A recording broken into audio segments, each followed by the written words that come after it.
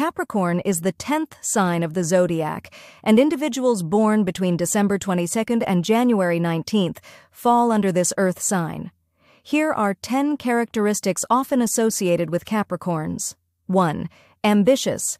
Capricorns are known for their strong drive and ambition.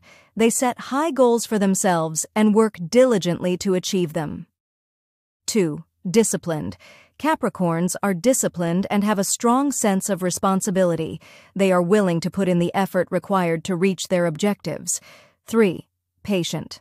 Capricorns understand the value of time and are generally patient individuals. They can endure setbacks and setbacks, waiting for the right moment to achieve their goals. 4. Practical. Capricorns are grounded and practical thinkers. They approach challenges with a realistic mindset and tend to make practical, well thought out decisions. 5. Responsible. Responsibility is a key trait of Capricorns.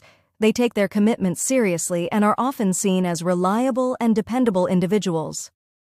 6. Reserved.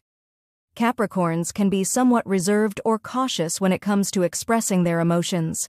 They may take time to open up to others but form deep and lasting connections. 7. Determined. Once a Capricorn sets their sights on a goal, they are determined to overcome obstacles and challenges. Their persistence is a significant factor in their success. 8. Traditional. Capricorns often have a respect for tradition and may hold on to conventional values. They appreciate stability and are likely to follow established norms. 9. Organized. Capricorns are typically well organized individuals who value structure and order. They often have a practical approach to managing their time and resources. 10. Cautious. Capricorns tend to be cautious in their decision making. They weigh the pros and cons carefully before committing to a course of action, minimizing the risk of mistakes.